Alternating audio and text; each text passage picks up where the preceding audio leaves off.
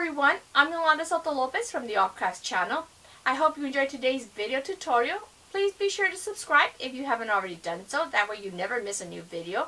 If you see anything you like, be sure to hit that like button, put any comments below, and let's get the party started!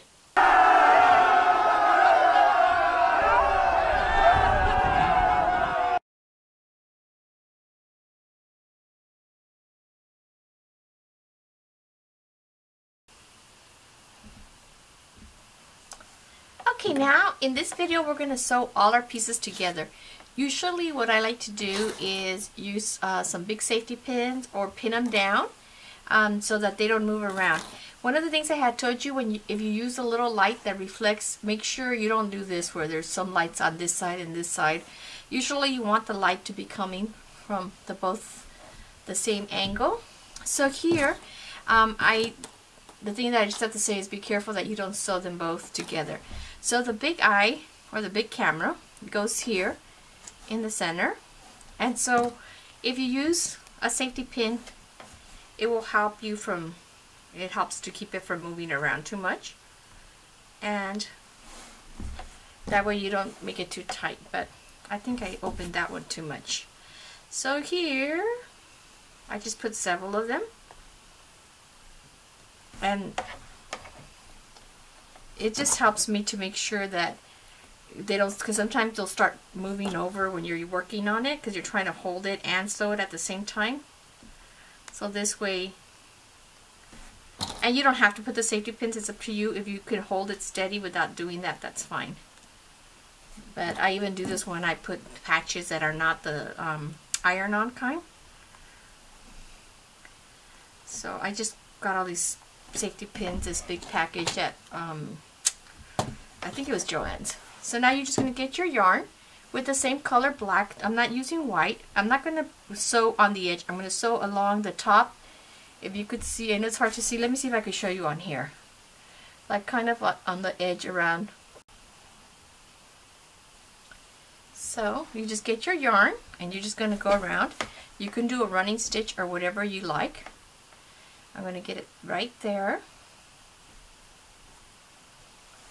And then just make sure you leave a tail that you could use to sew it. Don't pull it all the way out.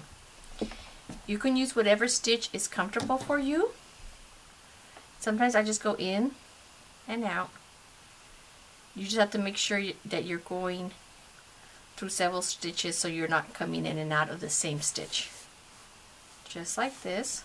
So if you look at the bottom, you could see that I've gone through this stitch, this stitch, this stitch. If I go in and out of the same stitch, it's not going to hold. You have to go across several of them.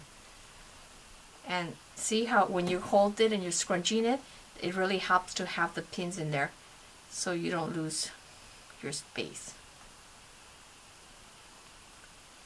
I'm sorry I couldn't put the whole video all in one video, but with the changes on YouTube, they really want you to do like shorter videos. Um, something about the algorithm, so I'm just trying to put uh, as many videos. If it's a long video, I'm trying to do them all within like the same one or two days instead of waiting for the next week. That way if you guys already did like, I know some of you go out or you already have your if you already have your yarn, you don't have to wait a whole week. So this is basically all you do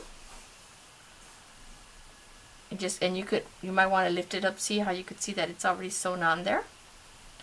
I like to sew them on top not through the side because if you do it here you're going to see that ugly black or whatever color. If it's all the same color like if I was sewing this onto a black hat then it wouldn't matter but here it does. Just make sure you don't sew it to itself. Okay this is going to be my last two stitches going to go back in.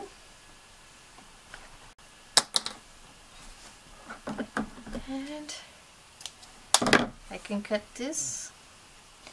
If you want to hide in those sewing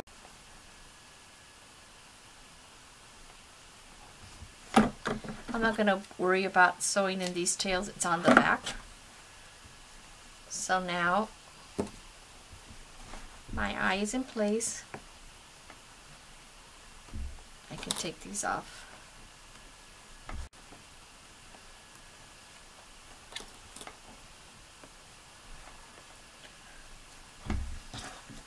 So the first eye is there.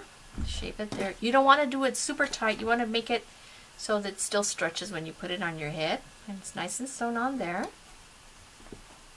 And now, according to the picture, this little eye goes more like here it's I'm saying eye, but it's really like little cameras. And then this one is like down here. So I'm going to put my pins and repeat the whole process. If you want to watch again, you can. I'll, but it's basically going to be the same thing. I think having the safety pins helps a lot. At least it helps me. Way I can make sure the eye's not going anywhere. There's one. This one's kind of, the safety pin's going to be kind of big for it, but I don't know why the camera keeps shutting off by itself. I'm going to sew on the gray and then these I'm going to sew along this gray section. I could start wherever I want. Just make sure I leave a tail so that I could sew that or tie them together at the end.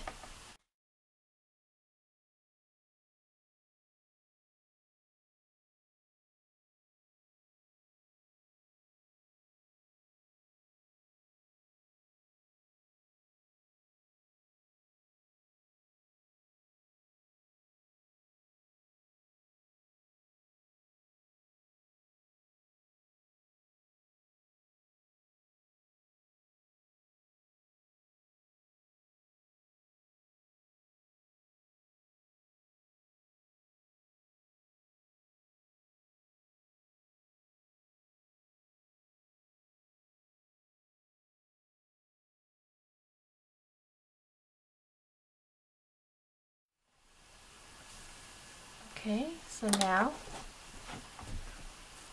I'm gonna tie this off. If you want to sew those in, you can, but this is the back. I'm not going to worry about it. I'm going to repeat the same thing here. This one's going to be a real tight fit. I, so here is the last one. And this I'm just going to sew right through the gray. I'm going to leave that tail there so that I can tie it when I finish my end and this one I'm just going to go through that slip stitch.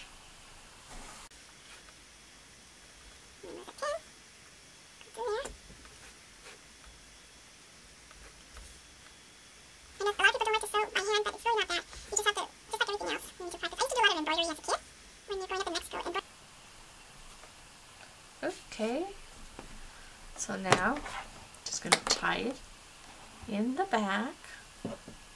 And I know this is a short video, but if I would have attached this to the second one, well, my husband got sick, but I didn't have time. But then, see, they're all on there. Move back. Now I can take off all the safety pins. I can do it there.